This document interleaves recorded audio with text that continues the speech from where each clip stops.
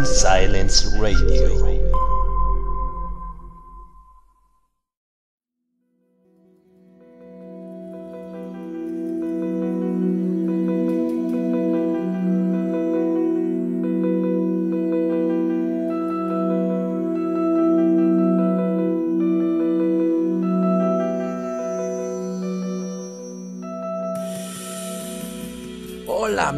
¿Cómo están? Esto es el magazine de terror y misterio de John Silence Radio y sus colaboradores. Pues quiero enviarles un saludo muy especial y muy afectuoso a todos ustedes, donde quiera que se encuentren, hagan lo que sean que estén haciendo. Fíjense que algunas personas me dicen que están trabajando, que están bordando, que van en su auto, que están en casa, desde el lado más, más austral de América, desde las ciudades más australes como Punta Arenas, hasta las más nórdicas como lo es Alaska y las ciudades de esa zona y los poblados, han contactado conmigo que escuchan el programa. Em, pues les agradezco mucho a todos ustedes. También en Europa nos escuchan. Muchas gracias por estar presentes. Y el día de hoy quiero hablarles de un tema muy extraño. Cosas extrañas. No, es Stranger Things, ¿eh? es cosas extrañas, pero otra clase de cosas extrañas en referencia a las novelas de Stephen King.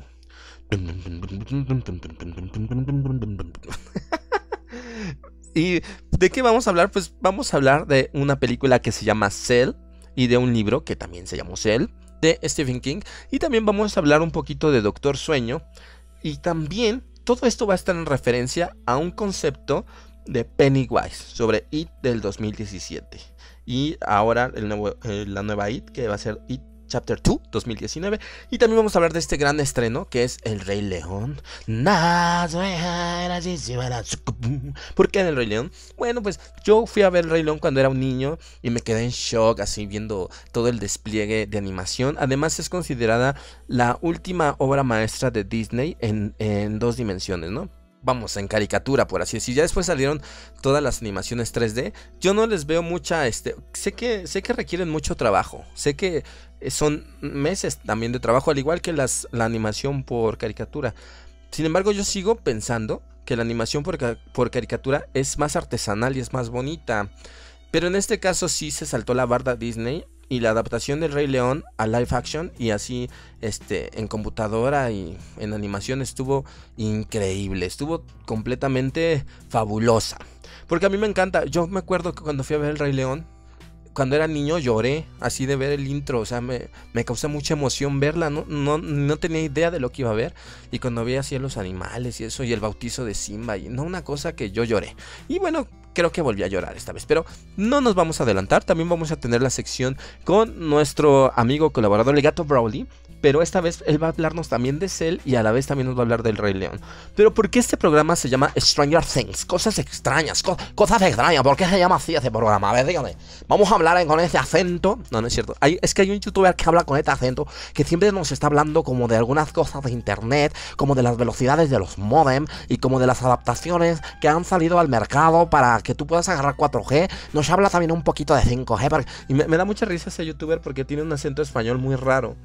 Porque el acento español que yo conocía era así, como ahorita estoy hablando. Ese era el, acento que yo conocía. Pero es que él habla así como que es diferente, no sé de dónde se ese acento tan raro. Y, me gusta mucho, pero bueno, esto es una tontería, perdón.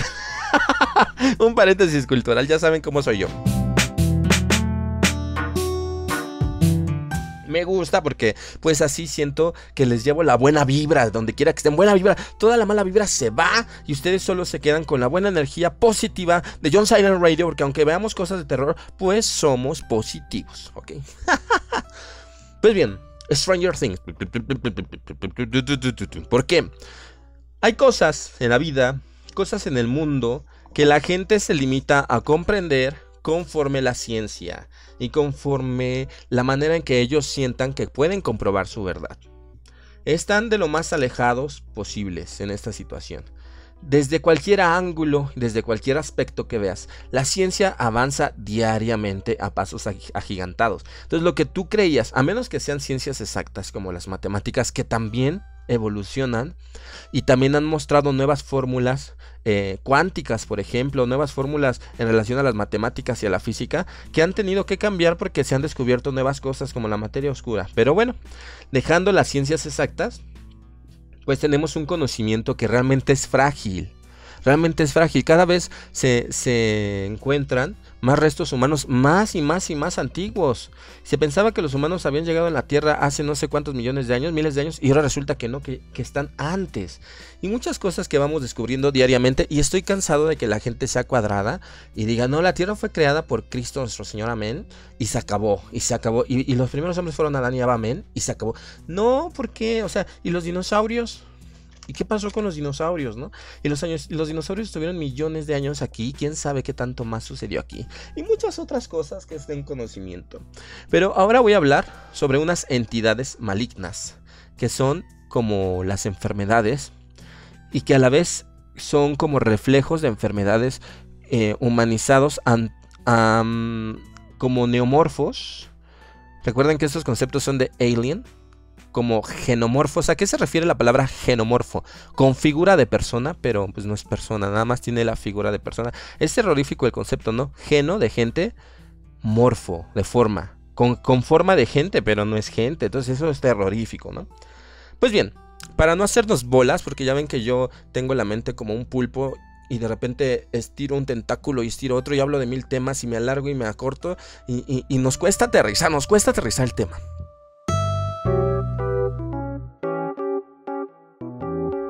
Vamos a hablar primero de Doctor Sueño y después de Cell.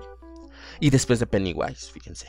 Yo estaba leyendo Doctor Sueño, me quedé impactado porque Doctor Sueño, además de ser una novela muy divertida, muy, muy amena, está muy relacionada a enfermedades, a la muerte, a procesos humanos que pareciese que solo son biológicos. Solo son biológicos. Se los voy a contar rápido, más o menos, Doctor Sueño, pero tratando de, sí les voy a dar algunos spoilers, pero no les voy a dar algunas claves para que no sientan que, les estoy haciendo trampa. Doctor Sueño es la, es la continuación de Resplandor. Recuerden que en el universo de, de, Stranger Things, no, en el universo de Stephen King, hay personas que tienen poderes telequinéticos y poderes psíquicos y poderes piroquinéticos. Al igual que en nuestro mundo se cree que hay gente así. Pero en el mundo de Stephen King han hecho grandes circunstancias. Por ejemplo, Carrie destruyó su pueblo. por ejemplo, Carrie destruyó el pueblo donde ella vivía. Eh, ¿Quién más? Pues los, los, personajes del resplandor quemaron el Overlook, destruyeron el hotel, ¿no?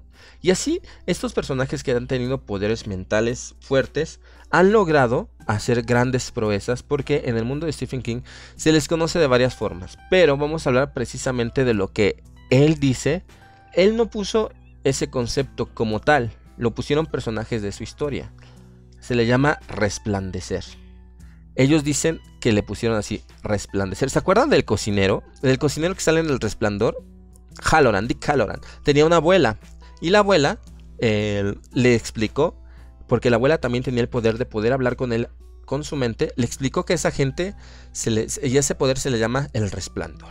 Vamos a, vamos a manejar todos esos poderes eh, telequinéticos, piroquinéticos, como, como lo es Charlotte en, Ojos de Fuego, que es una niña que puede quemar con la mirada, que también es de Stephen King. Vamos a ponerle la situación así. Los que resplandecen. ¿Les parece bien? Vamos a centrarlo en ese concepto. Y bueno, ustedes recordarán la historia del resplandor que es una familia que va a cuidar un hotel y que el hotel está, ellos están abandonados en ese hotel porque tienen que cuidarlo en invierno cuando no hay gente en ese hotel porque está en las montañas de Colorado y ese hotel está lleno de fantasmas porque tiene una maldición porque fue construido arriba de un cementerio indio y le meten ideas al papá a tal grado de que el padre quiere o intenta matar a su familia y tanto la madre como su hijo logran escapar y el padre muere en el hotel y su fantasma se queda en el hotel, pero al final el hotel explota porque las calderas explotan y todo eso es este reducido a cenizas, pero los fantasmas del hotel siguen, siguen, siguen y persiguen a los protagonistas y después viene Doctor Sueño. Pasan muchos años eh, Andy, que era el niño del resplandor, crece, se vuelve alcohólico como su padre, y entonces empieza una vida así de mochilazo en la cual vive en un pueblo, consigue trabajo, consigue estabilidad, se vuelve a emborrachar, pierde todo, toma sus cosas, se va a otro pueblo y así arruina su vida. Andy, ¿no? Su mamá ya murió de cáncer, eh, Wendy, murió de cáncer. Y Andy está solo porque Dick Halloran, que era el cocinero que le había ayudado en, el resplandor, todos creímos que murió, pero no murió. Dick Halloran sobrevivió y siguió teniendo un leve contacto con Andy. Andy le ha costado mucho trabajo em, poder enfrentar su vida porque resulta que los fantasmas del resplandor lo siguieron. Los fantasmas del Overlook lo siguieron. Entonces él tiene que aprender varios ejercicios mentales a través. Porque él, él resplandece. Recuerden que Andy tiene poderes. Él, puede ver el futuro, él puede ver el pasado, él puede comunicarse con la gente a través de telepatía y muchas otras cosas. Entonces Andy tiene que hacer como un poder mental en el cual a estos fantasmas los, hace que vayan a una caja y los encierra en su mente. Él tiene como una caja fuerte en su mente que Dick Halloran cuando era niño, posterior, posterior a lo que sucedió en el resplandor, lo volvió a ver y le explicó que él puede encerrar en su mente a esos fantasmas. Y esos fantasmas ya no vuelven a salir.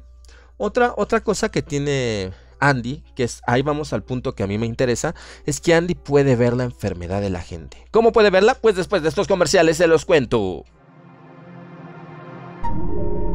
John Silence Radio.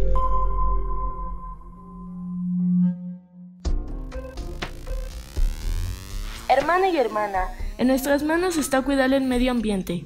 Cuidemos el agua. Cuidemos el agua. Cambia tu regadera por un dispositivo ahorrador. No tardes más de 5 minutos en bañarte. Ahorrarás hasta 75 litros de agua. 75 litros de agua. No limpies tu patio o la calle con el chorro de una manguera. Aunque te cueste más trabajo, solo ocupa una pequeña cubeta y una escoba. No seas flojo. No seas flojo. No seas floja. Recicla el agua de la ducha, coloca una cubeta al pie de la regadera y ocupa esa agua para lavar áreas de tu casa. Cierra, cierra, cierra la llave del agua. Para lavarte dientes, rasurarte y lavarte las manos, cierra la llave del agua mientras te enjabonas. No seas desperdiciado. No seas desperdiciado. Evita productos químicos de limpieza. Son altamente contaminantes y agresivos para el medio ambiente. Prefiere el uso de sustancias naturales de limpieza como vinagre y bicarbonato de sodio. Manos a la obra, cuidemos el agua. Cuidemos el agua.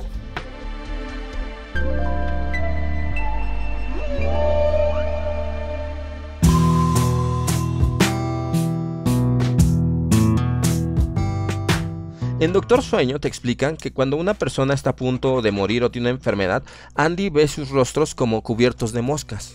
Los rostros de las personas los ve cubiertos con moscas. Y mientras más enfermos, más moscas cubren el rostro de esas personas. Pero no todas las personas que van a morir se cubre el rostro de moscas. Esto es muy extraño porque Andy llega a un poblado eh, en donde conoce a un hombre que lo obliga a entrar a Alcohólicos Anónimos, supera su alcoholismo y Andy se queda a trabajar como en una casa de reposo donde ayuda a los, a los viejitos a morir tranquilamente, por eso le llaman Doctor Sueño. Él ayuda a los viejitos a que se tranquilicen, a que puedan cruzar ese umbral y, y cada que va a morir un viejito llaman a Andy porque saben que él los ayuda a bien morir.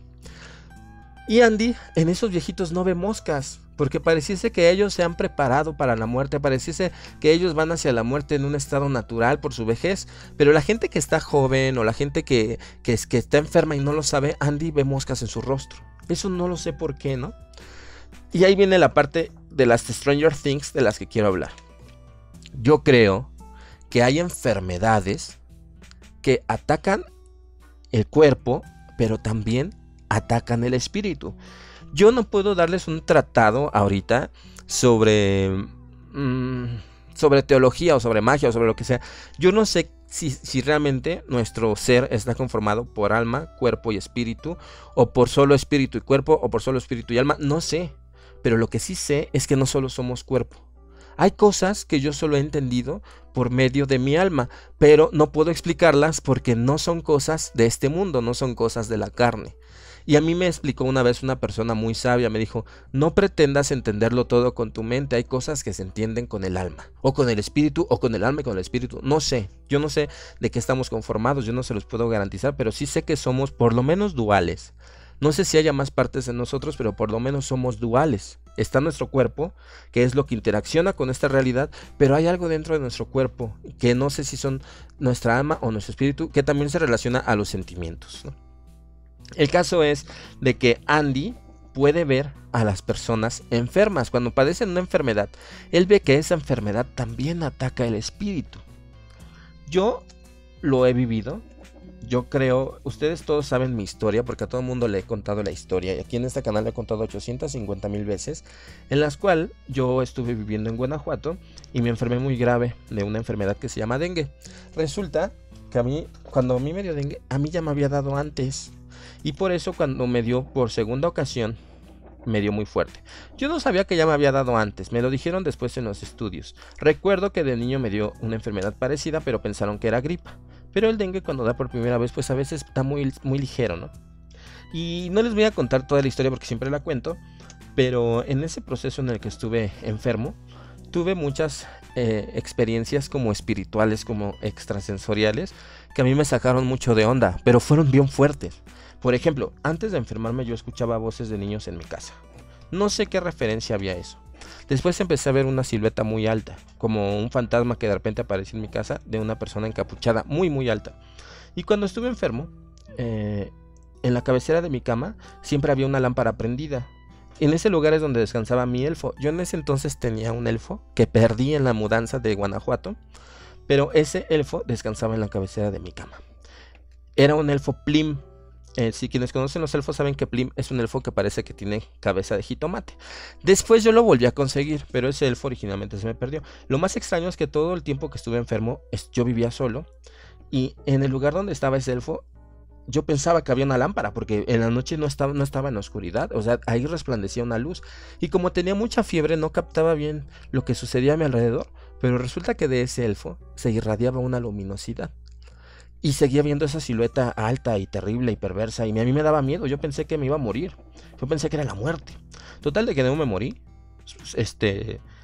Pues logré superar la enfermedad después de un año porque el dengue te da muy fuerte. Entonces la parte aguda pues me duró dos semanas, pero la recuperación me duró como ocho meses. Y, y, vine a la Ciudad de México porque pues no podía seguir viviendo solo en Guanajuato porque pues entonces sí me hubiera muerto, ¿no? Porque me costaba mucho trabajo cuidarme a mí mismo, porque me daba mucha fiebre, o sea, lo terrible del dengue es la fiebre, no se te quita nunca. Y te tomas un paracetamol y se te quita un par de horas y regresa y regresa y regresa. Entonces, después de dos semanas, estás agotadísimo, estás quebradísimo, ¿no? Por eso esa, al dengue se le llama la fiebre quebrantahuesos. Porque da tan seguido y da tanto tiempo que te duermes horas y te puedes dormir días y despiertas el segundo día y no has tomado agua y estás súper deshidratado. Y bueno, por eso es peligroso, ¿no? Total, de que Después cuando yo llegué yo tenía un amigo que, que practicaba magia y me fue a visitar y me dijo, oye John, ¿te han regalado alguna, alguna esfera de cristal? ¿Te han regalado algo de magia? Y le dije, no, para esto yo no estaba tan metido en la magia, ¿no? Le dije, no. Me dice, es que hay un espíritu contigo de un hombre muy alto encapuchado. Y yo dije, ay, es el que se me aparecía cuando me daba dengue y es el que me quería llevar porque yo pensaba que era la muerte, ¿no? Y ya mi amigo me explicó que no, que e, él piensa que es un espíritu familiar, que en otra vida fue mi tío, porque pues él casi lo estaba viendo en ese momento que me estaba hablando, ¿no? Y resulta que él dice que era una persona que estaba emparentada a cuestiones de magia o algo así, y que cuando yo enfermé, él apareció y me cuidó. Por eso yo lo veía en mi casa. O sea, yo pensaba que era la muerte, pero en realidad era este fantasma familiar que en otras vidas fue mi tío y que vino a cuidarme en esta vida cuando yo estaba padeciendo esa enfermedad y estaba solo. Pero ¿de quién me cuidaba? ¿O por qué me cuidaba, no? Entonces, no, yo no puedo negar que toda esta experiencia que tuve paranormal, yo sí la relacioné a una cuestión espiritual, ¿no? Entonces yo, yo llegué a la conclusión de que realmente la magia y las enfermedades tienen relación entre sí. Es muy extraño.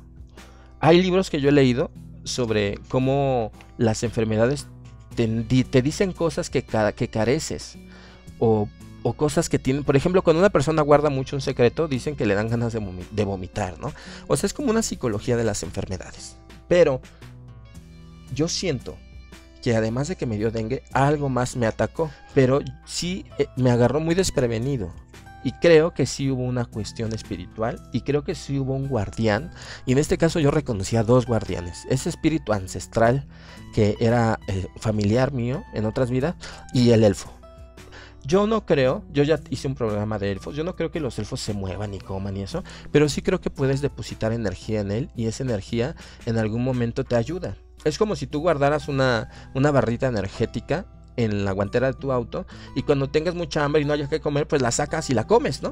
Eso es igual, o sea, tú guardas energía positiva en un objeto y cuando lo necesites, esa energía puede servirte como como una energía de emergencia, ¿no? Es muy extraño, pero yo lo viví así, porque ese muñequito brillaba en las noches. Yo pensaba que era una lámpara. En mi fiebre yo veía que había luz, pero no había luz. En ese lugar estaba un elfo.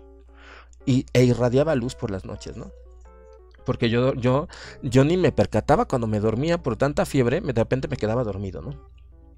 Y luego en las mañanas tenía que ir al hospital y a fuerza me querían internar y yo no me quería internar. Y bueno, fue un show.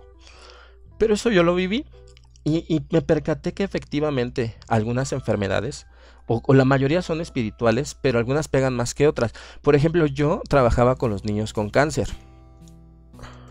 Cuando, cuando yo trabajaba en ese hospital y, y trabajaba con los niños con cáncer, yo percibía como si el cáncer fuera una enredadera que estaba alrededor de esos niños. Es una locura.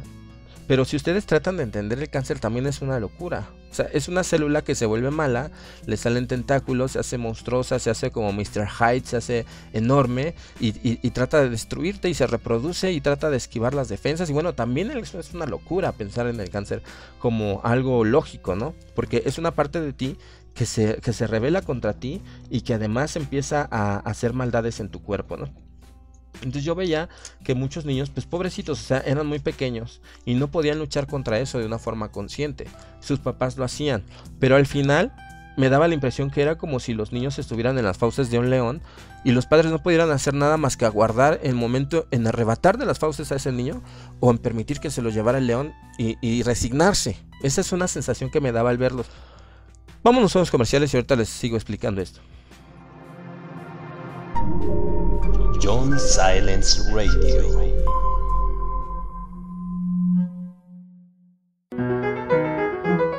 Tal vez pienses que nada de esto tiene que ver contigo. Pero estás equivocado.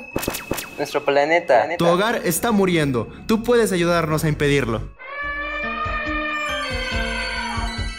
No tires basura en la calle. No quemes la basura. No tires aceite por la coladera. Una gota de aceite contamina cientos de litros de agua. En su lugar, deposítalo en una botella cerrada para ayudar a su manejo. Separa la basura para facilitar su reciclaje. Planta árboles y arbustos en tu jardín y en lugares aledaños a tu hogar. Considera tener pocos hijos. Piensa que una familia pequeña es mejor y menos dañina para el planeta. Usa condón. Disminuye el consumo del auto y prefiere el uso de bicicleta. Hará bien a tu salud. Apaga las luces que no estés usando. Y utiliza focos de bajo consumo. Desenchufa aparatos eléctricos. No estás exento. El planeta te necesita. Haz el bien.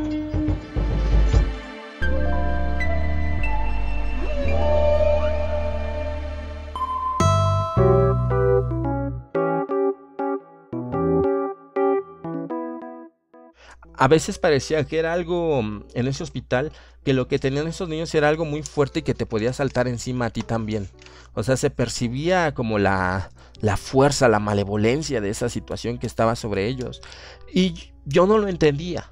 O sea, yo no les puedo decir, ah, yo, porque a mí, aunque siempre me ha interesado la magia, yo no ejercía nada de eso, yo no estudiaba nada, a mí me interesaba por esas sensaciones y percepciones que yo tenía, pero yo decidí volcarme hacia la magia después de esta enfermedad que tuve, ¿no? Y me di cuenta de eso, después ya analizando todas mis vivencias. ¿Qué tiene que ver con Stephen King?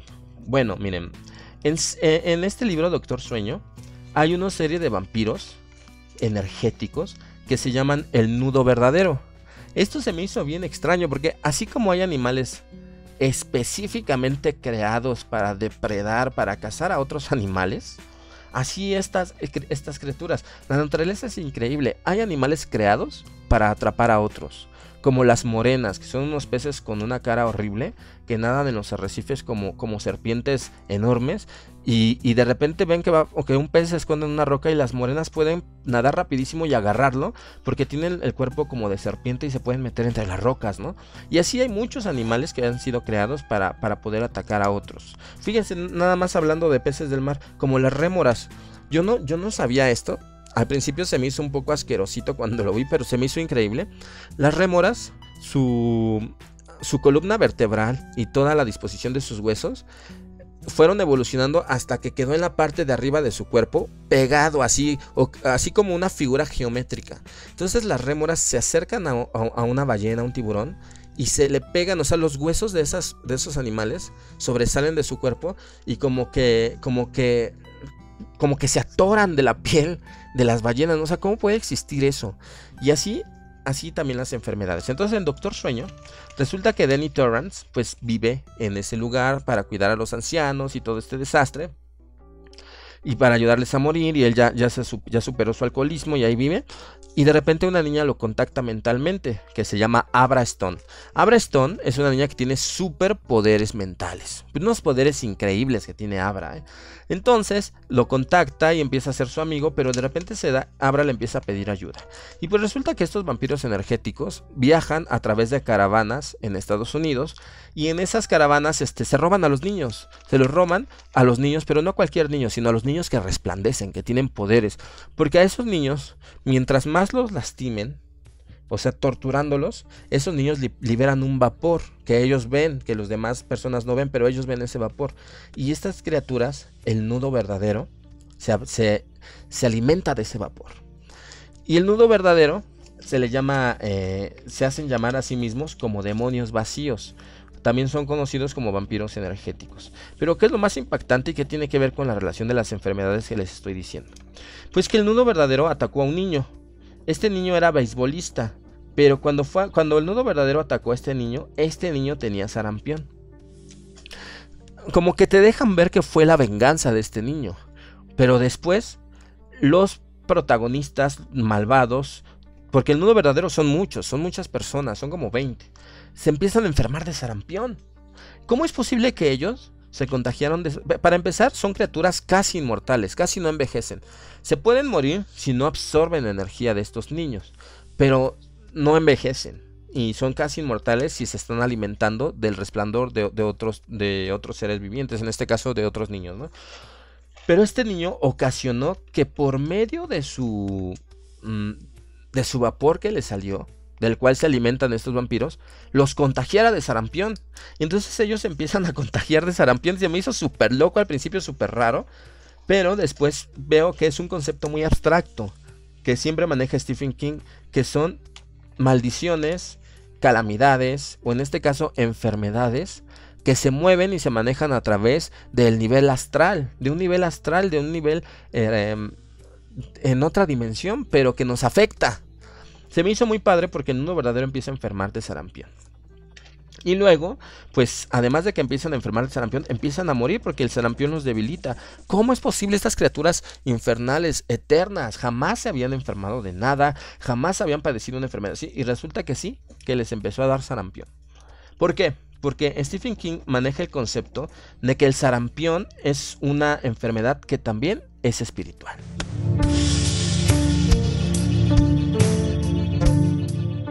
De ese grupo del nudo verdadero es una mujer que le dicen Rose la chistera. Las chisteras son esos sombreros que son como de copa. Ella siempre trae un sombrero de copa, pero el sombrero no lo trae sobre su cabeza, lo trae como en lados de su cabeza que es imposible que la gravedad lo sostenga. Y Rose la chistera es la más antigua de estas criaturas. Incluso ella, ella en su boca solo contiene, solo tiene un diente gigante en medio de su boca y con ese diente daña a los niños para jalarles el vapor, ¿no? Es una cosa muy extraña. Pero Rose se empieza a dar cuenta de lo que está pasando y trata de entrar a la cabeza de Abra para saber en dónde se encuentra y así ir a raptarla para que entonces ella y su tribu de que, se le llama, que se llama el nudo verdadero pues se puedan alimentar de esta niña que, que se llama Abra. Y entonces como tiene muchos poderes Abra pues ellos se van a sanar del sarampión y van a vivir muchos años más. Rose cree eso.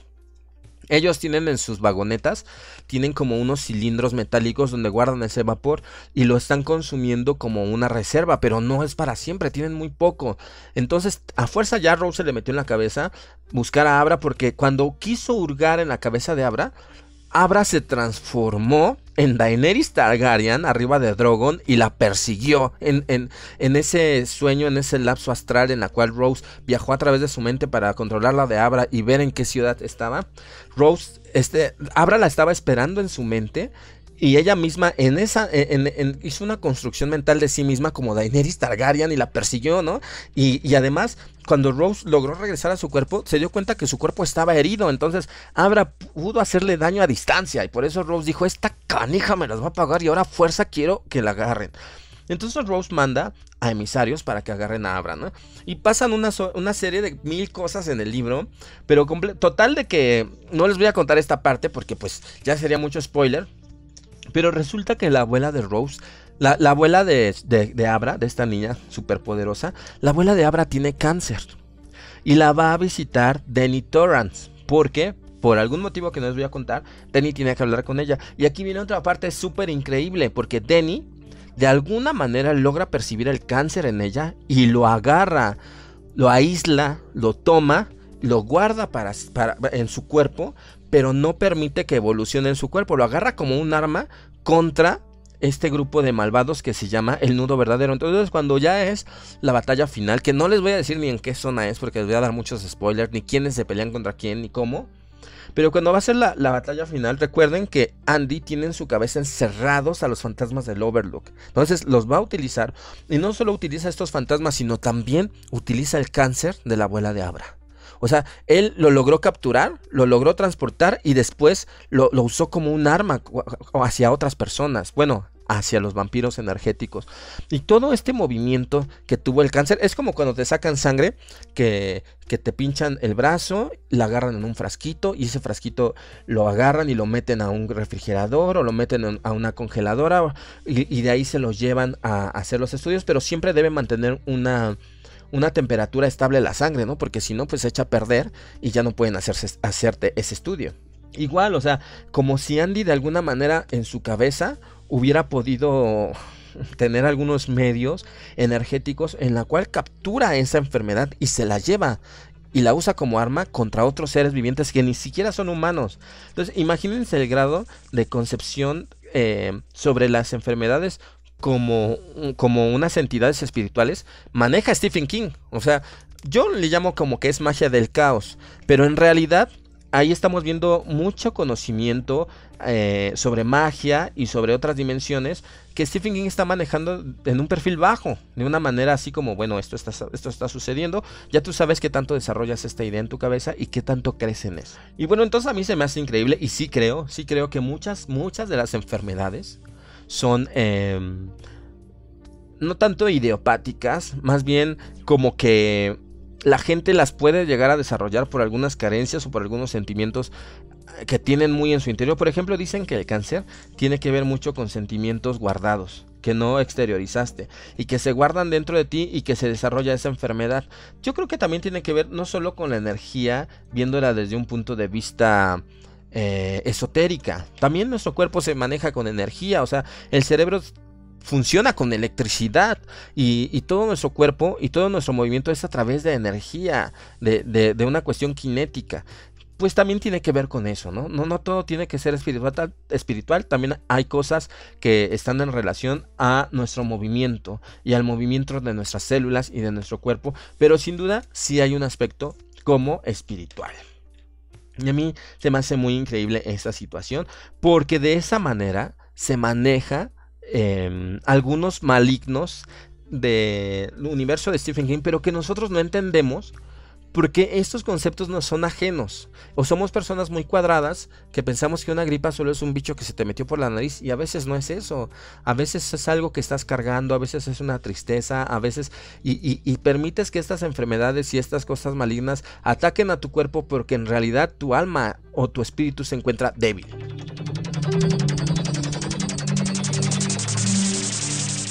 Y esto también tiene que ver con Cell. Cell es una historia como posapocalíptica la cual nos narra, esta también es una novela de Stephen King, nos narra que de repente la gente recibe una llamada telefónica y quienes las escuchan, quienes escuchan esa llamada se vuelven locos, se vuelven como una especie de zombies. Entonces a lo largo de la historia, nuestros protagonistas están buscando un lugar donde se supone que todos han soñado con ese lugar, que se supone que es un refugio. Pero lo que, lo que ustedes no saben es que detrás de todo esto hay una criatura que es Randall Flagg. Randall Flagg es un hechicero del universo de Stephen King el cual ha viajado a diferentes dimensiones y a diferentes mundos y ha viajado en diferentes tiempos y en diferentes realidades, algo así como el Doctor Strange, pero en malo, porque él está, este, su finalidad es destruir sociedades. Incluso puede tardar cientos de años trabajando sobre ese punto, pero al final logra la destrucción de una sociedad, de un país o de un mundo entero. Entonces Randall Flagg es una criatura muy poderosa del universo de Stephen King que sale en muchas novelas y también es uno de los principales antagonistas de La Torre Oscura que es una, ustedes saben que es una serie de, novelas. Y en este caso, creemos nosotros que el, en la película la llaman el, el de la capucha roja y en el libro le llaman el hombre andrajoso.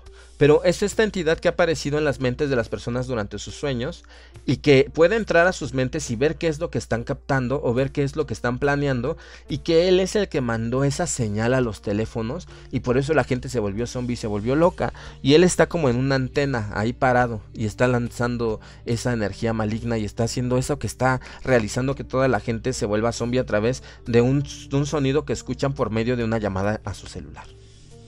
Esto no me parece muy extraño, porque al igual que en las enfermedades, esta criatura está lanzando como una malignidad a los cuerpos de las personas, las cuales pierden completamente el control de sí mismas, se transforman en, entidades salvajes y a veces como comportamientos extraños, como de parvadas de aves, que giran y giran y giran en un lugar y de repente se quedan quietos. De sus bocas se escuchan sonidos como de radio, como si ellos fueran un emisor de una señal de radio y quienes escuchan esos sonidos de radio pues pueden contagiarse de esa frecuencia sónica malvada y pueden volverse zombies también, perder el control, ¿no? Está muy loco porque al final esta criatura también logra entrar a nuestro cuerpo de una manera fisiológica, que es a través de los oídos, pero de una manera espiritual. Él captura a la gente la, hace de una, de, una forma incomprensible, la vuelve zombie porque la medicina no, no encuentra nada al respecto. La vuelve zombie y la vuelve una entidad que a la vez transmite ese virus por medio de, de, de, ese sonido como de radio que sale de las bocas de ellos. Esta, esta parte, esta novela, se me hace un poco más compleja. Y yo le dije a Brawley, le dije, ¿no has leído Cell? Y me dijo, no, todavía no. Le dije, tienes que ver la película de Cell y quiero que me hables de ella, a ver qué fue lo que entendiste y qué fue lo que te gustó. Entonces él preparó su sección en dos partes. Primero pues va a hablar del Rey León porque también le encantó, pero también va a hablar de Cell. Entonces vámonos ahorita, después de estos comerciales vamos a escuchar a Brawley en su sección para que nos cuente un poquito qué, cuál es su experiencia en Cell. Pero antes de irnos a estos comerciales quiero decirles lo siguiente. Vean la relación de las cosas malignas, en eh, su relación a nuestra mente, a lo que pudiera ser nuestra alma, y de qué se, de qué se alimentan, y de, quién se, y de qué se enamoran estas criaturas. Estas criaturas están, no se están alimentando de los cuerpos de las personas, se están alimentando de, de sentimientos, de emociones, y de cuestiones un poco metafísicas. Y eso es lo que se me hace súper increíble en Cell y también en El Resplandor. Mucho más el Resplandor en cuestiones metafísicas porque incluso salen fantasmas. Pero Cell también nos habla desde una, de una parte un poco más electrónica, ¿no? De qué manera, y, más moderna. Por ejemplo, en la película de Laro, vemos una niña que sale de una pantalla, ¿no? En la película de La llamada perdida, pues vemos también personas que mueren al escuchar una llamada en su teléfono. Y también en esta, en esta cinta vemos personas que se vuelven zombies después de escuchar una frecuencia en su, en su celular. Y vemos entonces que Stephen King está muy emparentado a la malignidad en relación a nuestro cuerpo y, y la manera en que percibimos la maldad y la manera en que percibimos las cuestiones de nuestra alma. Entonces vámonos a los comerciales y regresamos con la primera parte de Browdy.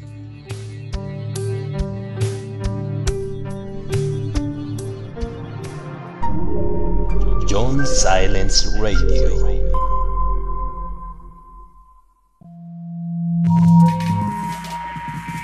El maltrato animal es un delito en México y en otros países.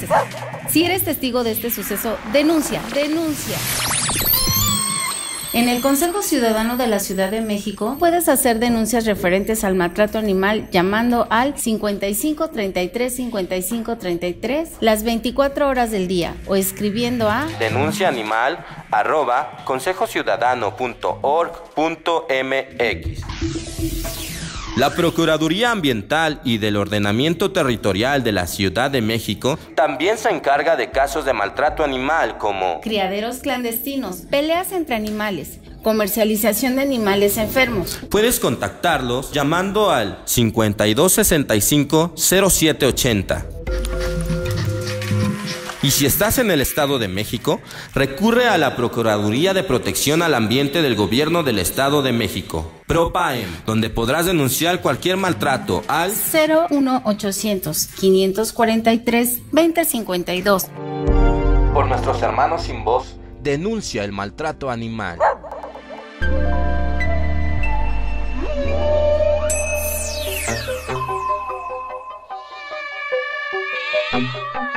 Ronroneando, ronroneando con el gato Brawley.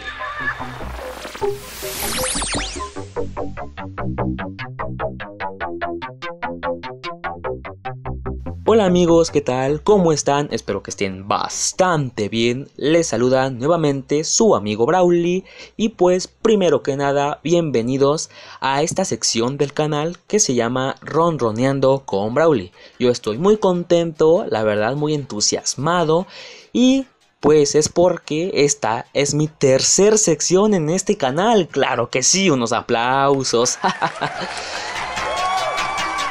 Pero antes que nada, tengo una pequeña idea para ustedes. Bueno, también para mí quisiera decirles lo siguiente. Esta idea consiste en que, pues como verán, yo doy opiniones de películas y pues quisiera que sea más interactivo. ¿A qué me refiero con esto? Pues sí, quisiera que ustedes me dieran pues unas ideas, quisiera que me comentaran este qué películas quisieran que yo viera y qué diera mi opinión para que así yo pueda pues seguir colaborando con pues con este canal no de mi amigo John Silence. Y también quisiera agradecerles porque mm, he notado que les está gustando bastante mi pequeña sección y pues yo me siento muy feliz de, de saber que les gusta pues esta sección he leído bastantes comentarios positivos de, de pues de mí, ¿no? De, de que les gustan mis opiniones, mis reseñas y pues por eso me dan más ganas de seguir colaborando con este canal. Y pues nada, por eso quisiera agradecerles, muchas gracias a todos por sus increíbles mensajes, por sus increíbles opiniones hacia pues a esta sección, ¿no? Así que damos inicio, comencemos.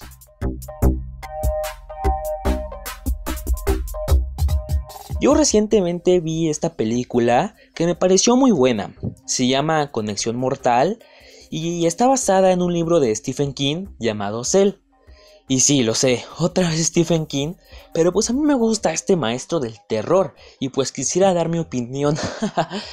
y lamentablemente, como ya dije, esta película está basada en el libro de Stephen King llamado Cell y pues lamentablemente no he leído el libro este es muy triste, pero pues sí vi la película, así que comenzaré con esta pequeña reseña, que es la siguiente.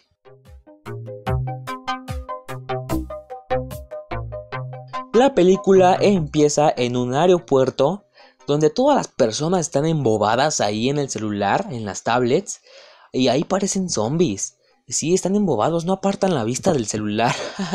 y pues la verdad no hay mucha diferencia en el mundo actual, ya que he visto a muchas personas que son exactamente iguales a los de la peli, ya que pues no sé, he visto a un típico niño que está embobado en su teléfono y pues no hace caso y pues por eso digo que mm, tanto la película como el mundo real pues no hay mucha diferencia. En la película una señal negativa se apodera de los celulares de todo el mundo y vuelve locas a las personas que, que utilicen sus teléfonos móviles, específicamente en llamadas. Las vuelve personas muy agresivas que matan a otros seres humanos y la verdad no sé si sean zombies, ya que las personas se parecen mucho a los zombies, pero no creo que sean ya que pues un zombie pues es algo que come carne, ¿no? Pues la verdad yo no estoy seguro, ya que en una escena un policía muerde muy feo a un perro. Que la verdad, ¿por qué hacen eso?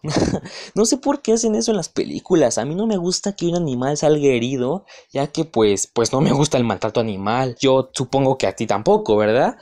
Pero bueno, esta historia comienza con un padre de familia llamado Clay Riddle que está protagonizado por John Cusack, que él va a ir pues a un trabajo lejos de su hogar y él se encuentra en un aeropuerto donde es este lugar en donde en la película se nos muestra el inicio de todo este apocalipsis, de toda esta masacre entre humanos, ocasionada por una señal negativa que como dije vuelve locas a las personas.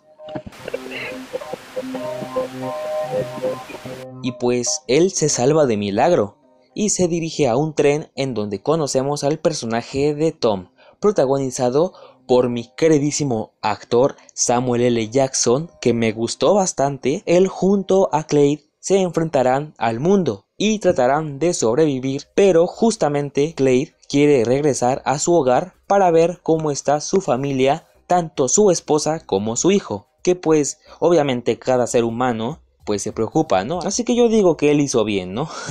Pero bueno, es aquí en donde vemos a otro personaje que es mujer, llamada Alice, protagonizada por Isabel Furman, en donde los tres tratarán de sobrevivir al mundo. Pero la verdad esta es una pequeña reseña, ya que es todo lo que puedo decir, ya que lo demás considero que ustedes mismos lo vean, ya que créanme valdrá la pena.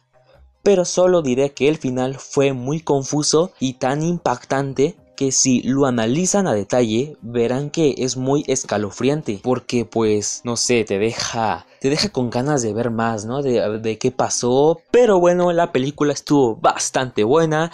Si te entretienes bastante si te enredas en la historia este, como dije, no he leído el libro, pero estoy seguro que hicieron un gran trabajo los directores, porque en serio, la historia está bastante buena. Este, las actuaciones fueron lo mejor, obviamente, de todas las películas, lo mejor son las actuaciones. Creo que la película, este, se enfoca, bueno, el propósito de la película es enfocarse en el personaje de Clay, pero sinceramente Samuel L. Jackson para mí fue lo mejor de la película, porque ya saben esta pequeña curiosidad de que a su amigo Brawley le gustan estas películas. Aquí viene un pequeño spameo de que tengo una pequeña página en, en Facebook que se llama Ronroneando con Brawley. Me gustaría que en primer lugar me siguieran y en segundo lugar escribieran qué tal les pareció pues esta película. Yo les dije que se las recomiendo. Aparte de eso, me dijeran, me dieran ideas de qué películas quisieran que diera mi pequeña opinión. Y pues nada, es, eso es todo. Y, y si la viste, déjame ver qué te pareció, pues en la caja de comentarios. Pero bueno, aún no acabará esta pequeña sección durante este programa de mi amigo John Silence, ya que también vi El Rey León 2019 que más adelante daré mi pequeña opinión, así que espérenme y nos vemos dentro de un rato. John Silence Radio.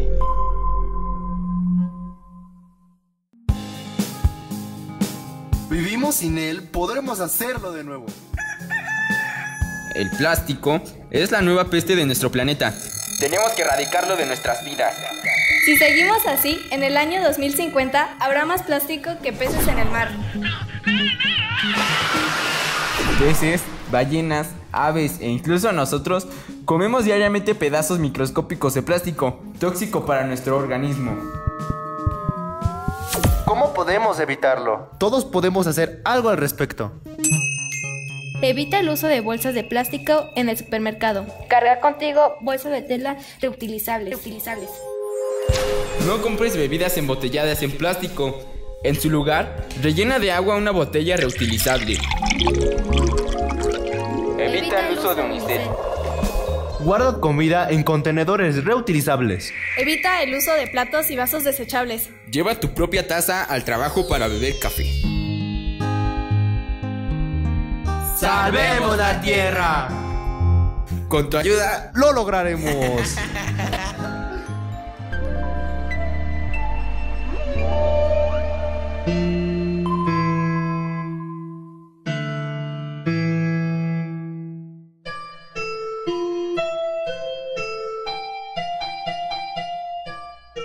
Pues como ven, esto fue lo que Brawley nos contó de esta película. A mí me gustó mucho la película, también me gusta mucho el libro. Y vamos a otro punto para terminar de hablar del tema Stephen King y las Stranger Things. Pero ya que toda todo el programa ha estado haciendo la música de Stranger Things. Pues vamos a hablar un poquito ahorita de Stranger Things, de Stranger Things en este aspecto. Fíjense, en Stranger Things nos muestran un portal hacia el mundo al revés, que es una dimensión alterna a la nuestra, y que han salido monstruos de ahí, como el Demogorgón, pero también han salido otra clase de monstruos.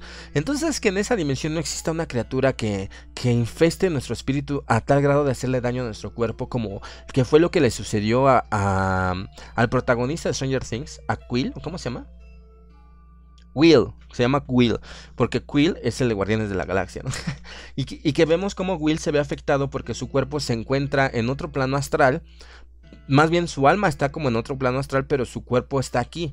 Entonces vemos cómo su cuerpo se daña porque su espíritu en ese plano astral está siendo invadido por esa malignidad que está ahí. Entonces es realmente muy parecido al cáncer y algunas enfermedades, ¿no? Puedes estar siendo atacado por estas entidades en otro plano astral, pero tu cuerpo se está viendo resentido en este. Puede ser una locura, pero no hay manera de que me desmientan, como tampoco hay manera de que yo pueda comprobar que esto sea verdad completamente. Esto es una teoría una teoría y como teoría pues no, no, no existe la confirmación pero tampoco la negación de que esto pueda ser verdad, ¿no? Y vámonos a hablar un poquito sobre Pennywise. Ya que hablamos de esta película, del aspecto técnico, ya que escuchamos a Brawley en esta circunstancia. Pennywise, yo estaba hablando con dos personas muy importantes, que es Gary Montalvo, y también estaba hablando con mi amigo el administrador de la página de It's Fan Club, que se puso el nombre Bob Gray, ¿no? Pues vamos a respetarles el nombre de Bob Gray. Tanto Gary Montalvo como Bob Gray me estaban diciendo, porque me empezaba a decir, este, Gary Montalvo me decía cuáles son sus especulaciones y sus hipótesis sobre la adaptación de It. Y Bob Gray, pues él defiende esta adaptación a capa y espada, y yo la detesto. Y ahí tenemos algunas discusiones a veces. Pero me contaba Gary Montalvo que se le hacía interesante que, él piensa que le van a dar un giro al personaje Pennywise, diciendo que es la reencarnación de un, de un cirquero que se llamaba Bob Gray. Y que de esa forma más padre, porque va a ser, eh, va a transformar a Pennywise en un fantasma y de esa forma pues es más lógico que él sea como el fantasma de un payaso. Me parece una tontería. No, no, no, no, no es de que se le ocurra una tontería a mi amigo Gary Montalvo. No es porque. No, no, no, no estoy diciendo que él se le haya ocurrido una tontería. Estoy diciendo que cómo es posible que vayan a hacer eso en la película. ¿Por qué? Porque Pennywise es una criatura maligna de otra dimensión, de otro plano astral. Es muy complejo entenderlo y es muy complejo eh, darnos cuenta que pudiera existir algo así, ¿no? No es un fantasma simple y ya no, el fantasma de un payaso. No. Pennywise es una entidad eh, que viene de otro lugar y que llegó aquí a la Tierra, según el libro, antes que los humanos. Entonces conoce a los humanos en la palma de la mano. Y me contaba mi amigo Bob Gray. Ay, John, lo que pasa es que él conoció a Pennywise conoció a Bob Gray y tomó su personalidad y entonces por eso dice que él Bob Gray, que él es Bob Gray porque no tendría sentido que él se llame a sí mismo Bob Gray. ¿Cómo que no tendría sentido que él se llame a sí mismo Bob, Gray? ¿Por qué sí, tenía, sí tiene sentido? Para empezar, Pennywise dice que es hembra, ¿no? Que es mujer. Pennywise no es hombre. En su, en su mundo, Pennywise es mujer.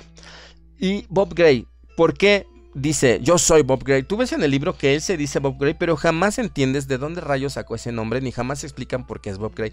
Y esa es la parte terrorífica de Pennywise. Es como decir yo soy Juanito Pérez.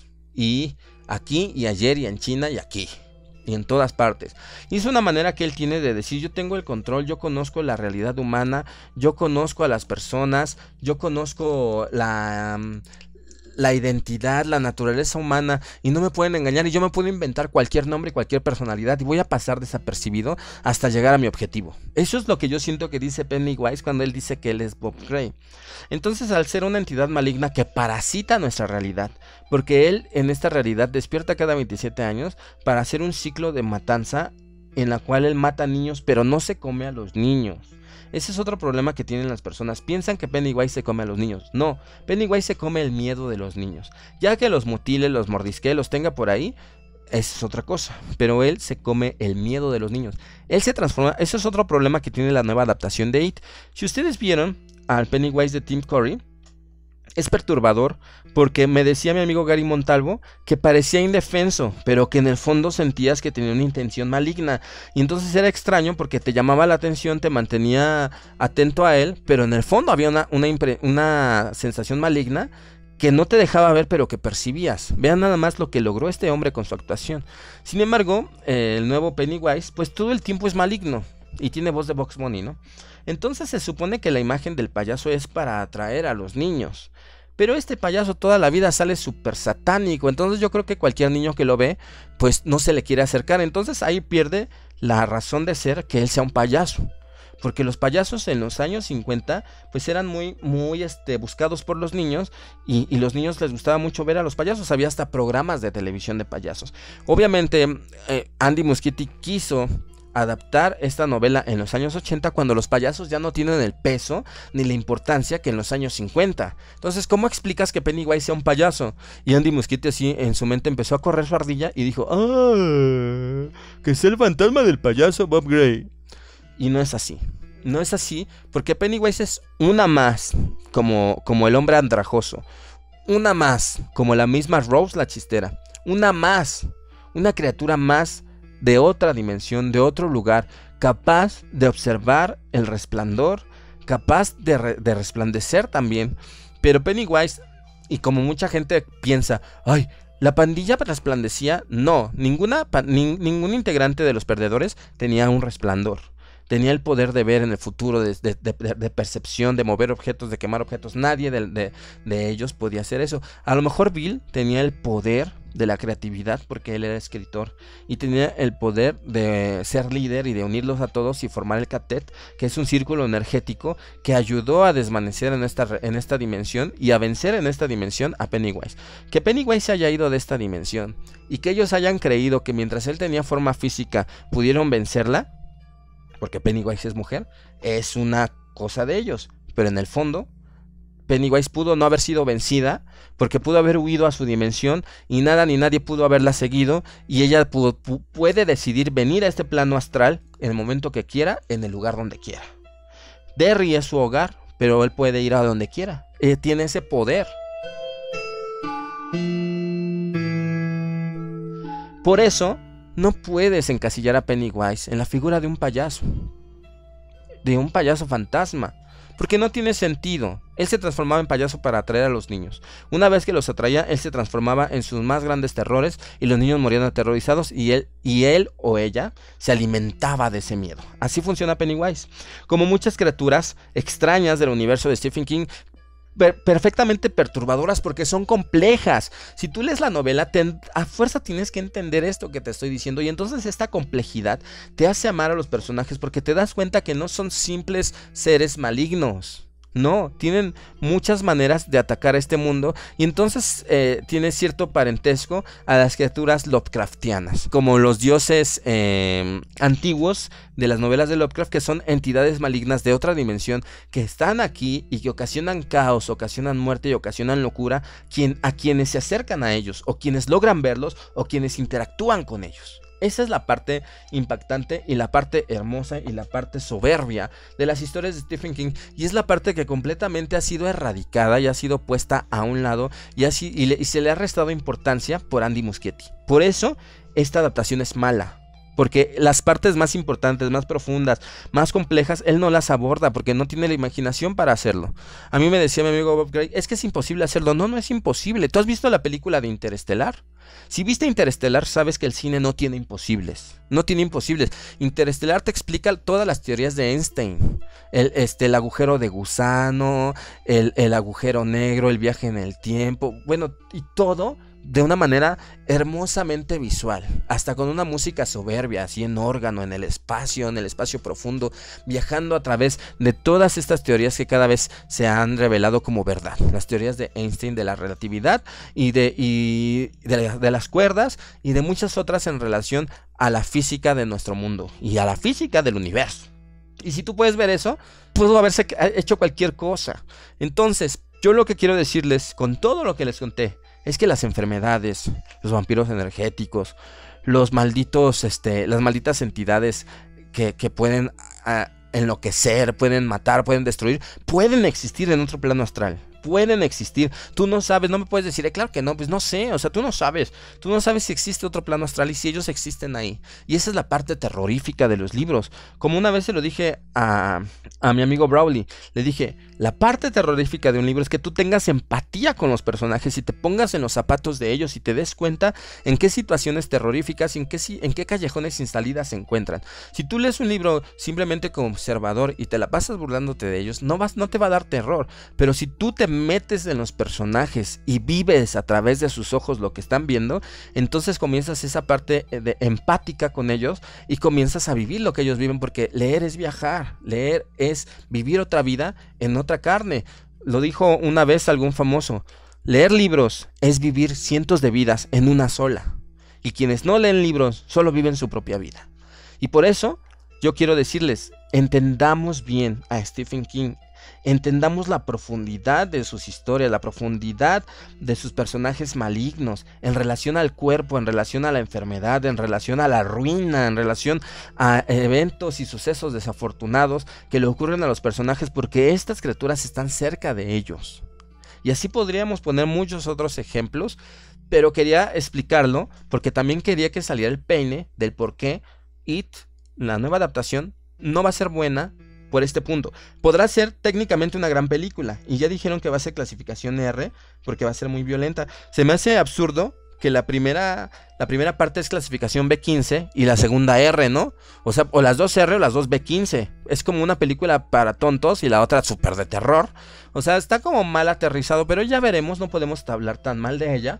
Puede tener sus partes geniales, pero lo que estoy tratando de explicar de la procedencia, de la esencia, de quién es Pennywise, Andy Muschietti no tiene la menor idea y no lo hizo. Lo hizo muy gradualmente. Por ejemplo, otra cosa en relación a Pennywise. Pero bueno, vámonos a los comerciales y ahorita hablamos de esta otra cosa en relación de Pennywise. En este programa de las Stranger Things.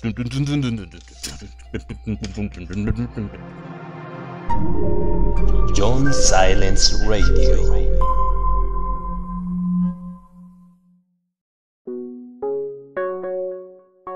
En el mundo se venden un millón de botellas de plástico por minuto. Por minuto.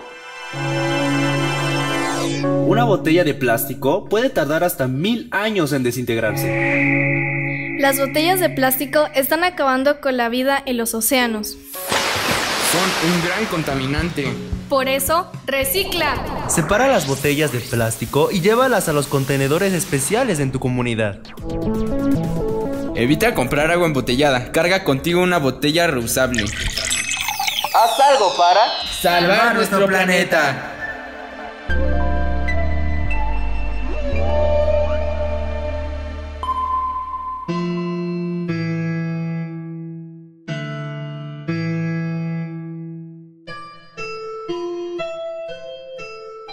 Estamos de regreso en este programa. Otra cosa que tiene Pennywise. Miren, por ejemplo, a mí me dan miedo las personas que tienen la boca chueca. Es un ejemplo, ¿no? No me da miedo a esa gente, pero es un ejemplo. Si yo viera Pennywise, por algún motivo yo vería a Pennywise con la boca chueca. Aunque él se presentara con la imagen prefabricada que tiene de payaso para que yo me acercara a él, yo le vería la boca chueca. Así como ven cuando ve por primera vez a Pennywise caminando sobre el hielo en un lago congelado, cuando él había salido tarde de la escuela y se dirigía a su casa solo bajo la nieve, y él ve a Pennywise y se paraliza porque él ve a Pennywise y tiene rasgos de una momia, porque a él le dan miedo las momias. Entonces, de cierta forma, Pennywise siempre hurga en tu mente para crear esa criatura que te va a llamar la atención en un principio, pero siempre te deja una pista de que no es algo bueno. Por ejemplo, si a mí me diera, me diera terror el cabello largo, como los japoneses que les dan miedo los pelos, ¿no? ya ven que en las películas de los japoneses siempre salen fantasmas así muy peludos, muy pelosos, y ellos se, se, mueven de terror cuando se enredan en sus pelos, ¿no? Yo digo, bueno, eso es muy exagerado, ¿no? A mí no me dan miedo los pelos. Pero bueno, imagínense que a mí me dieran miedo los pelos. Tal vez yo vería a Pennywise greñudo. ¿Sí me explico? Entonces al final Pennywise hurga en tu mente para descubrir tu miedo y ya que lo tiene, lo guarda para cuando tú ya estés muy cerca de él y no puedas escapar. Pero mientras tanto él crea una imagen atractiva pero te da una señal de que algo anda mal. Por ejemplo, eh, al papá de Ben en la película se le aparece, más bien a Ben Hamscon se le aparece su papá en la película. Recordemos que su papá era un militar que había muerto y su papá aparecía con unos pompones en su traje. Siempre dejaba Pennywise, no sé si consciente o inconscientemente, pero siempre les dejaba una pista a, sus víctimas de que él realmente no era lo que creían.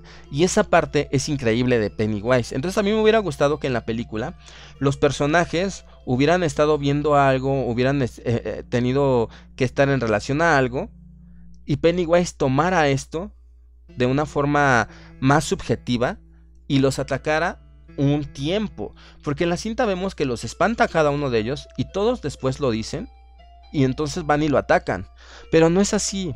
Ellos pasan casi, incluso cuando, cuando matan o cuando, cuando vencen a Pennywise, me parece que es el último día del verano. Entonces ellos pasan tres meses con la acechanza de Pennywise. Y muchas veces se les aparece de diferentes formas. Y están aterrorizados. Cosa que no se ve en la película. Pero que en la miniserie sí se percibe como que pasa el tiempo y como que Pennywise varias veces los, atemoriza en relación a las cosas que a ellos les dan miedo. Por ejemplo, em, cuando se le aparece como leproso a, a Eddie, está muy CGI, casi no parece un leproso. Los leprosos no están así tan, tan deformes, con los ojos del tamaño del rostro, ¿no? Pero yo hubiera preferido que se hubiera desarrollado un poquito más las patologías mentales de ellos, para que entonces comprendieras un poquito mejor por qué Pennywise toma eso, por qué Pennywise se transforma en eso. Y entonces hubiera preferido una profundidad en ese tema. Porque Pennywise también es una criatura eh, multidimensional, pero él tiene esta cualidad. Como un, como un camaleón. Él puede transformarse. Y esa es su parte tan auténtica que tiene.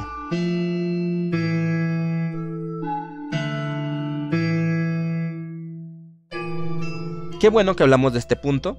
Quería platicar de estas Stranger Things en relación también a la película que acabamos de ver, que es él, aquí mi amigo Browley que vio, y que nos comentó que les dejo de tarea y que también les pido vean más películas de Stephen King eh, basadas en novelas de Stephen King o lean más novelas de Stephen King para que comprendan la parte más impactante de él y cómo cada uno de sus personajes, la mayoría de ellos este, dimensionales o, o, con una realidad extravagante, tienen algún potencial para modificar nuestro mundo o para atacarlo de alguna forma y esto los hace únicos y los hace muy geniales e interesantes.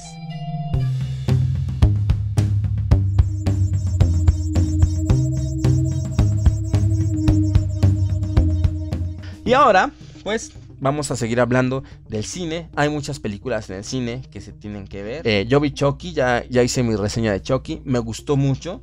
Este, me hace una película como de un universo cyberpunk. Y a mí me gusta mucho el cyberpunk, que es un futuro distópico en relación a, que los humanos ya colonizaron otros planetas. Ya, los robots ya son más avanzados, pero con problemas característicos de una sociedad eh, consumista, como es la prostitución, como es el robo, como, como es la pobreza como es el abandono, como son las drogas. Entonces a mí me gusta mucho el cyberpunk, me gusta mucho y siento que Chucky está como afianzada sobre la realidad cyberpunk. Pero también, pues no todo es terror, hay cosas que teníamos que ver.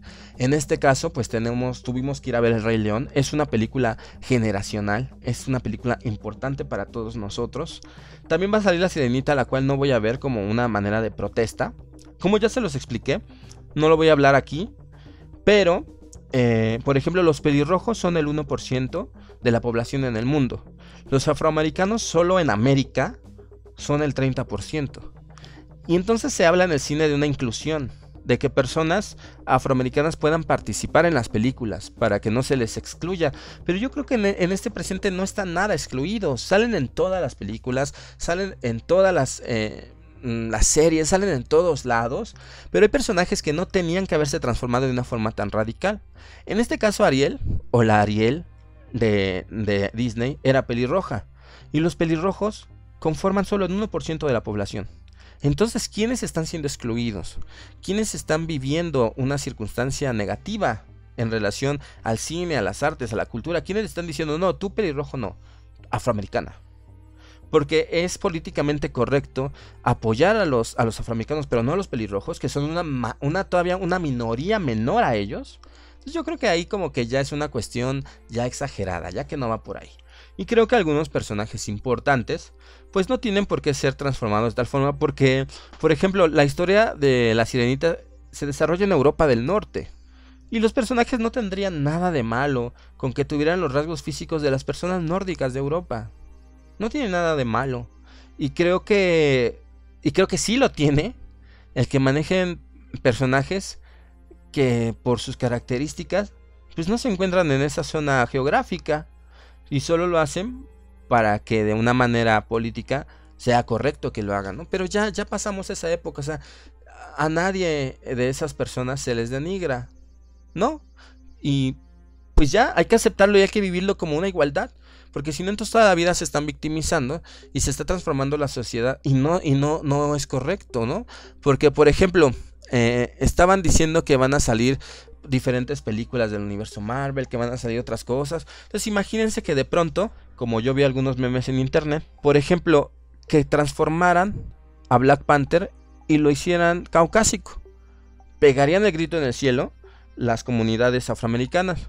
Pero ¿por qué si ya una bola de personajes eh, caucásicos se han transformado a personajes afroamericanos? Y no tiene nada de malo. Al igual que tampoco se debe de menospreciar a razas que son mayor minoría como los pelirrojos. Incluso los pelirrojos también han sufrido persecución. No sé si ustedes lo sepan, pero en la antigüedad se creía que los pelirrojos eran de mala suerte en Europa. Entonces cuando las personas veían pelirrojos los perseguían. Y también en América del Norte, en Estados Unidos, también hubo una gran persecución a los irlandeses. Y también, eh, incluso en el Reino Unido, hubo, guerras religiosas al norte de Irlanda y cosas así. Entonces yo creo, yo creo que ellos también son víctimas. No porque sean pelirrojos, no lo van a hacer. Pero pues cada quien.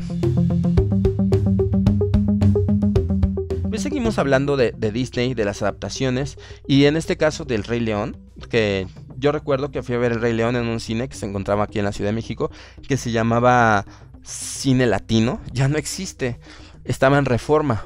Y me gustó mucho el Rey León. De esos tiempos recuerdo que fuimos a una tienda de autoservicio, así como un supermercado, y mi mamá nos compró a los personajes del Rey León. A mi hermano le compraron a Pumba, y venía, venía en su paquete. En su paquete venía Timón, venía Scar y venía una llena.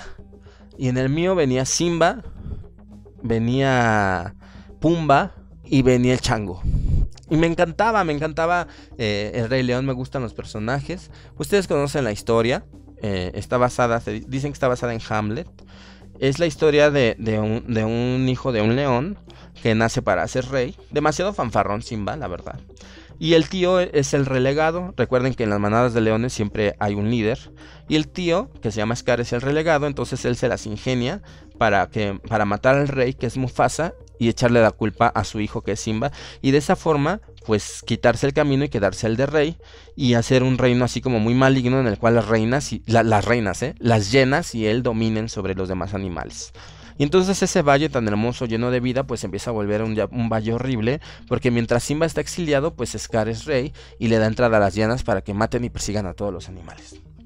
Y después Nala se escapa, que era una leona pequeñita que era amiga de Simba desde niños y era como su, su, prometida. Se escapa, lo encuentra. Simba había sido este, criado por por un suricate y por, un jabalí, que también eran relegados, porque el suricate, pues nunca dicen por qué Timón era relegado, pero Simba, digo, Pumba, que es el jabalí, era relegado porque eh, se echaba punes, ¿no? O sea, era, era muy pedorro.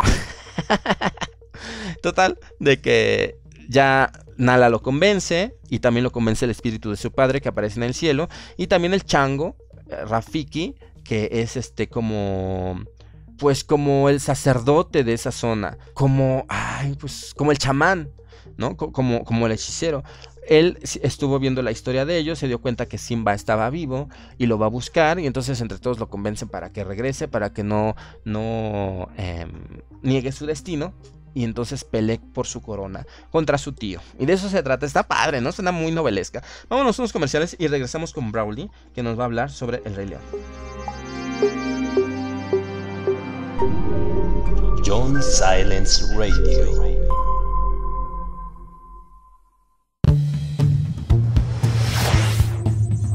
Contribuye para la preservación de nuestro planeta. Nuestro planeta. Cuida la energía eléctrica. Apaga las luces que no utilizas. Apaga la luz, apaga la luz, apaga la luz, apaga la luz. Cambia los focos tradicionales por focos ahorradores. Aprovecha la luz natural del sol para hacer tus actividades. No dejes todo para la noche. Desconecta los aparatos cuando no se estén utilizando. Desconecta, desconecta, desconecta, desconecta. Salvemos la Tierra.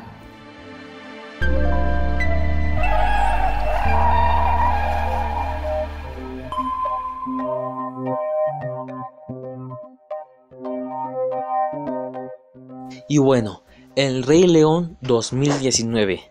Wow, ¿qué te puedo decir de esa película? Está muy, muy hermosa. En serio. Yo, bueno, yo vi la de animación, estuvo bastante buena, pero también vi pues esta de live action, que estuvo, no sé, me gustó bastante. Creo que es una de tantas que son más fieles a las animadas, ya que hay películas que, que la verdad no, que la verdad no son tan que la verdad no son tan buenas como las originales en caricatura, como la Cenicienta, por no decir otras, pero esta fue bastante buena, sí, sí, estuvo bastante bien, estuvo bastante fiel, las canciones, estuvieron todas las canciones y es más, le agregaron más canciones. No recuerdo perfectamente cuáles son, pero sí estuvieron bastante buenas.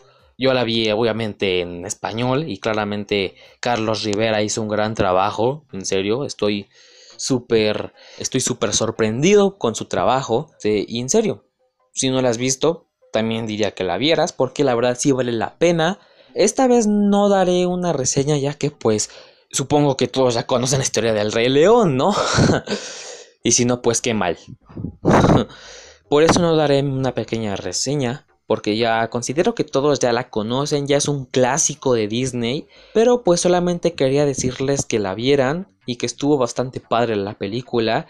En serio los personajes de Timón y Pumba, bueno, son lo mejor, en, en parte son lo mejor, pero algo que me hubiera gustado ver de esta película de El Rey León 2019, pues es que no sé, tal vez sea porque los actores de voces originales ya están viejos o no sé. Eso, es lo único que hubiera cambiado. Que en las voces originales se quedaran en la película. Sí, sí hay un gran cambio en las voces. Pero fuera de todo eso, en serio, estuvo muy padre.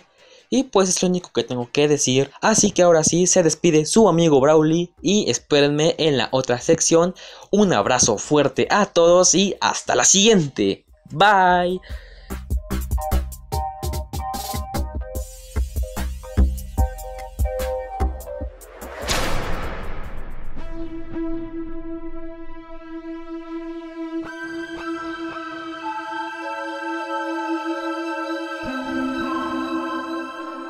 Pues esta fue la reseña de nuestro amigo Brawley, que nos está hablando sobre cómo fue su vivencia, qué fue lo que le gustó sobre esta película.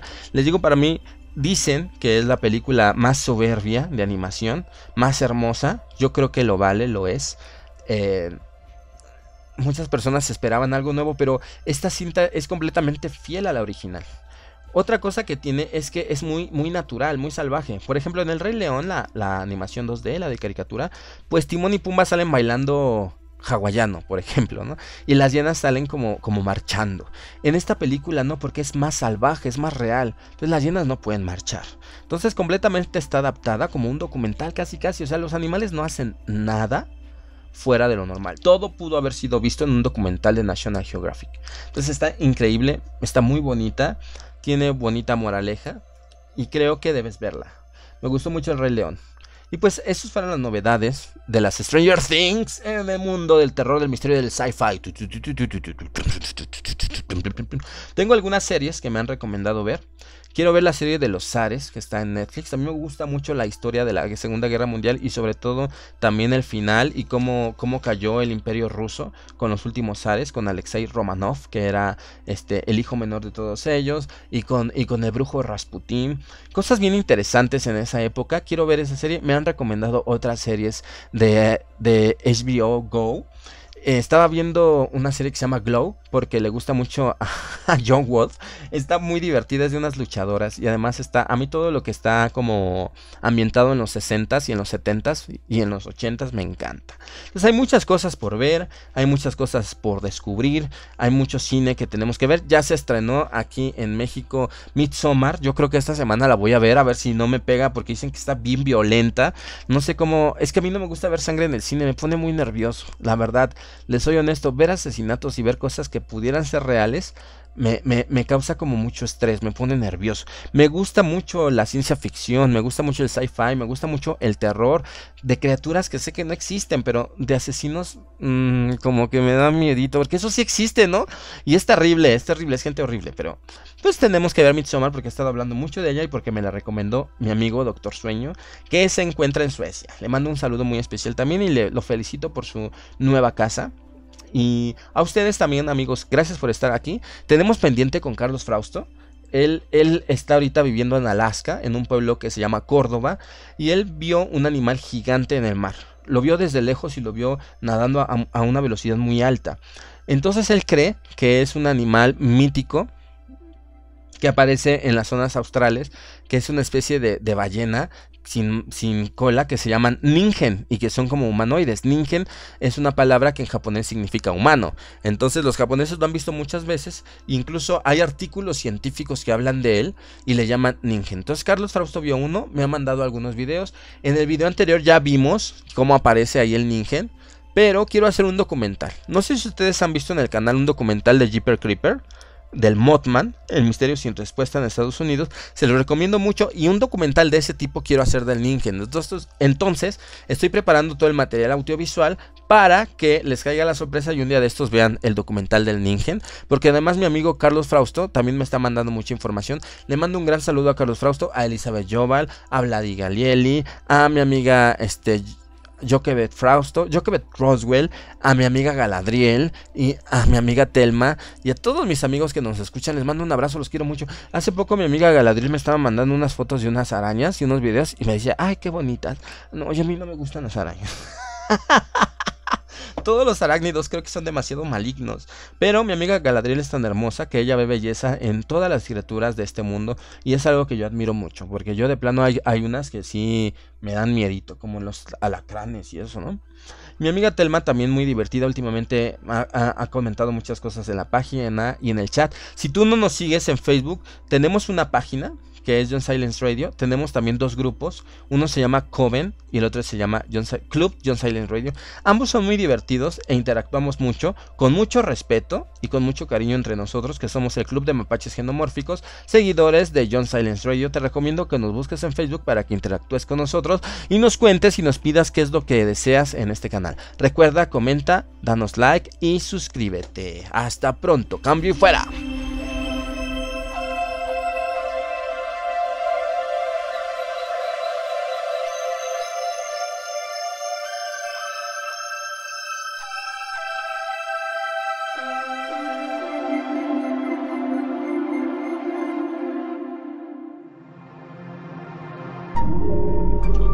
Silence Radio.